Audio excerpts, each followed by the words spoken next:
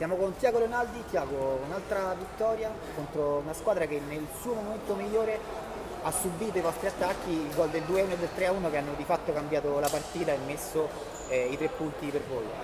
Sì, siamo entrati con la concentrazione giusta, sapevamo che, che loro erano una squadra forte, di molti stranieri, però ci siamo allenati bene questa settimana e alla fine abbiamo visto il risultato.